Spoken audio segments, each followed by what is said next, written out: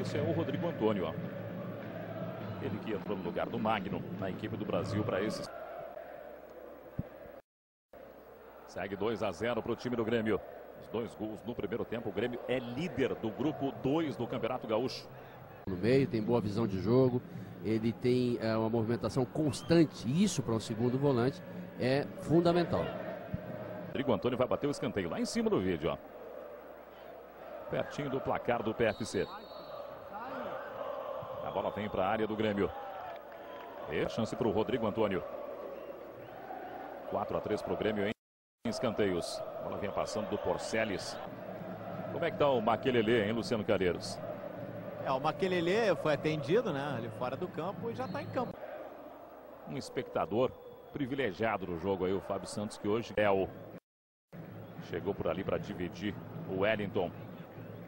Melhor para o Rodrigo Antônio. A corrida, esperando no passe, chutou um pouco do chão, um pouco da bola, mesmo assim ela foi rasteira e longe do alcance do goleiro, né, do Danley, fazendo três.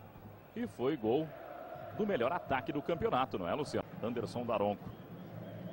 O Orteman fez um gol naquela partida anulado pelo ar. E agora valeu, né?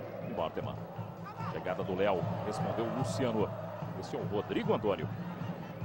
Ligação com o Porceles. Hum, o Wellington falhou. Aí o Porceles. Wellington se recupera. Também no sábado teremos Ipiranga, Direitinho em Novo Hamburgo, 8 e meia da noite. Do segundo turno do Campeonato Gaúcho. Aí o Alisson. Toque no Rodrigo Antônio, que.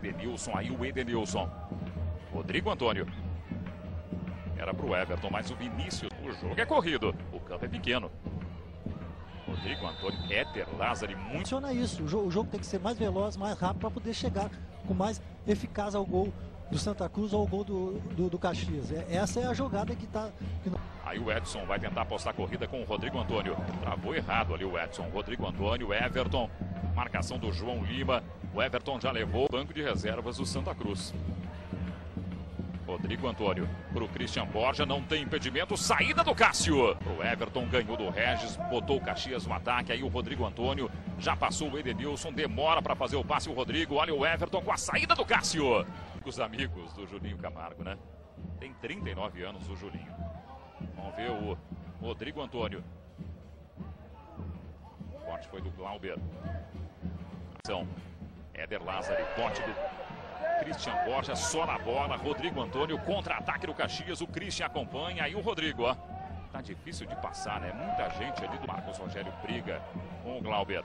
Rodrigo Antônio. Falta do Evilásio sobre ele.